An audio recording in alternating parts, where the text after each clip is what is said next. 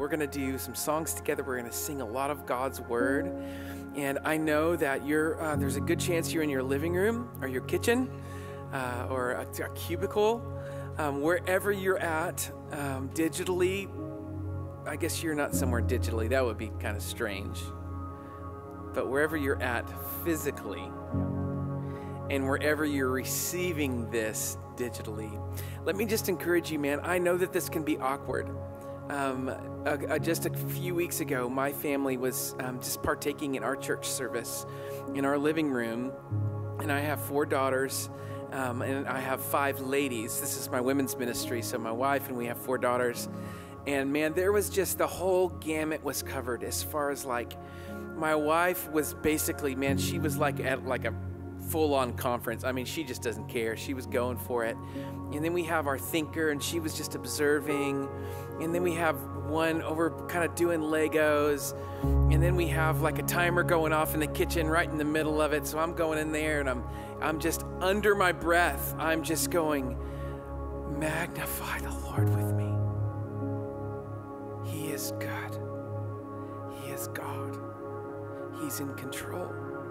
And so this doesn't have to look any certain way for you. Um, as long as your heart in these next few moments would just go after the Lord.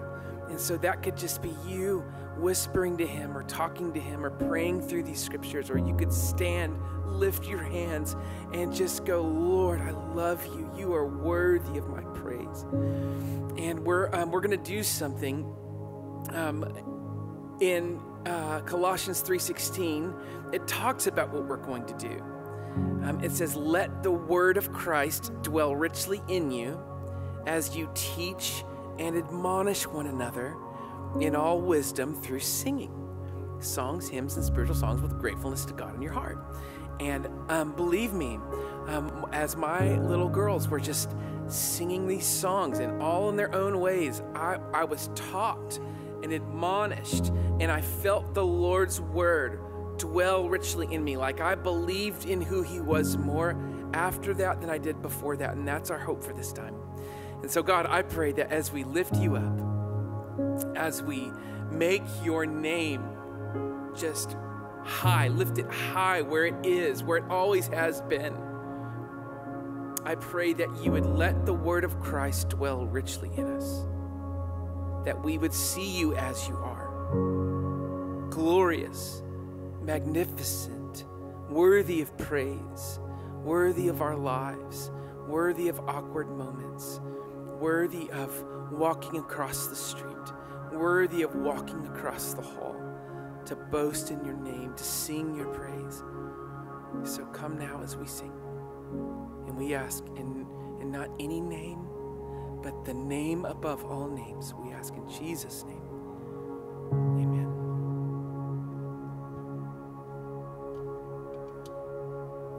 For I sought the Lord, and He answered me and delivered me from every fear. Those who look on Him are radiant. They'll never be ashamed. They'll never be ashamed. This poor man cried. This poor man cried. And the Lord heard me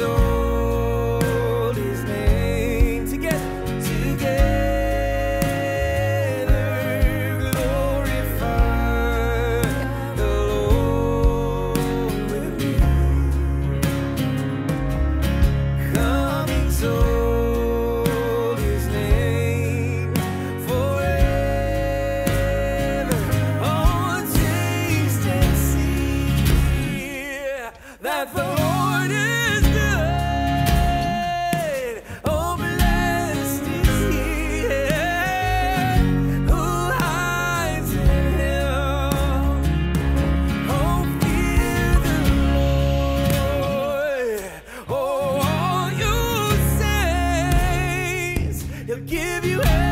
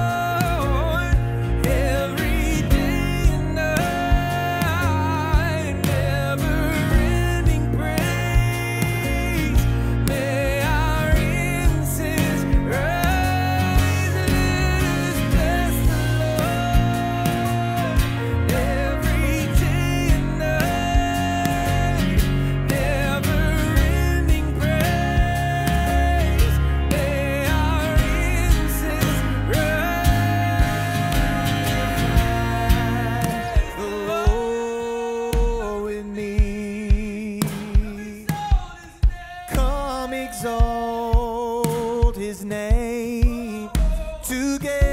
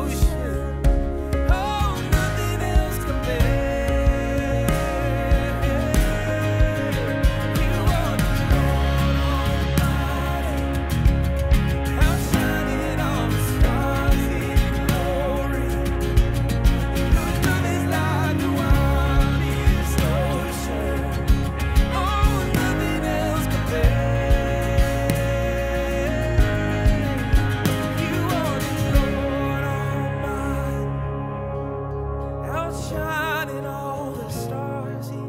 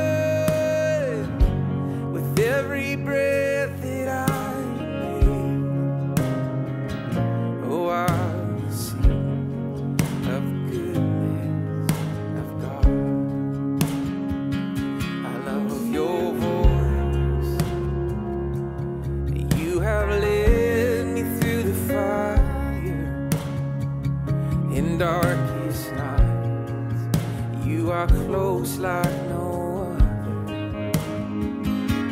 I've known you as a father, I've known you as a friend, and I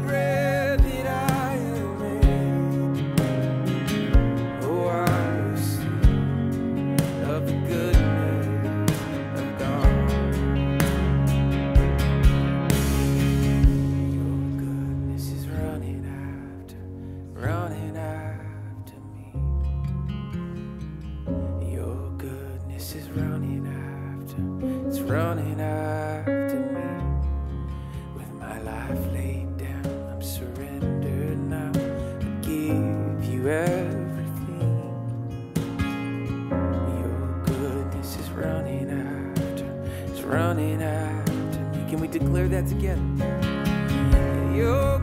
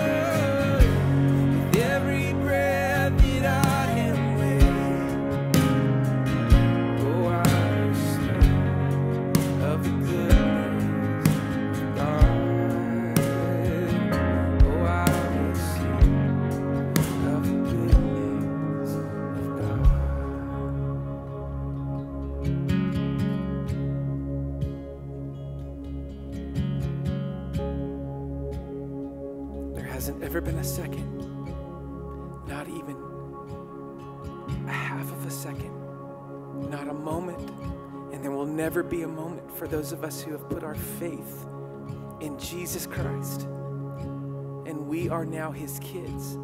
There is not a moment that His goodness and His mercy won't be a banner over our life that is so confusing sometimes when cancer hits. It's so confusing when our job goes away.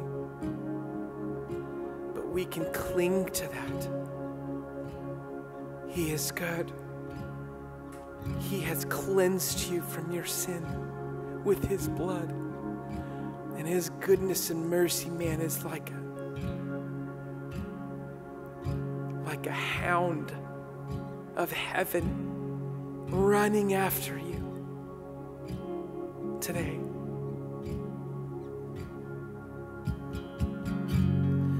All my life you have been faithful.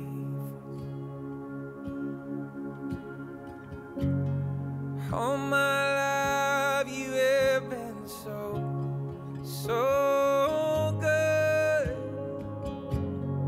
With every breath